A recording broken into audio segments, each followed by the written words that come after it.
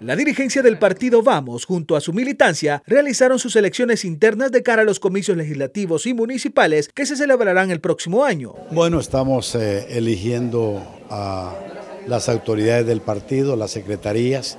Nos hemos dado cita, eh, ya que se llamó a, todos los afiliados, a que pudiéramos estar presentes para elegir las autoridades del partido.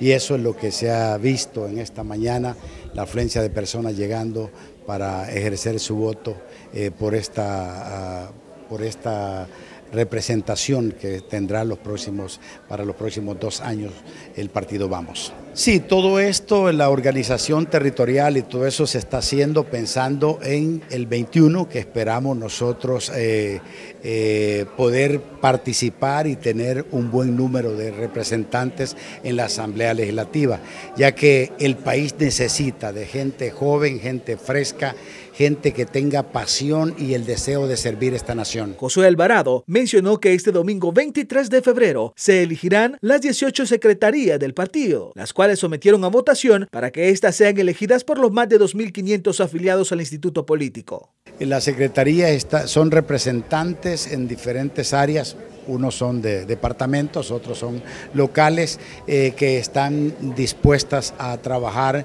eh, dentro del partido. Eh, en San Salvador tenemos la mayoría de, de secretarías están representadas aquí en San Salvador. Don Adolfo Polanco, quien viajó desde Quesaltepeque, llegó a la sede central del partido Vamos para participar de este proceso de elección. Pues la idea central es de que eh, vayamos mejorando eh, la clase política, ¿verdad? Y que las dirigencias de los partidos eh, adquieran un compromiso directo con la población y sean gentes responsables y cambiemos la imagen de la política en el país. Se espera que los resultados de dichas elecciones internas sean dadas este mismo domingo 23 en las instalaciones de la sede central del partido Vamos, informó para la prensa gráfica.com Melvin Alas.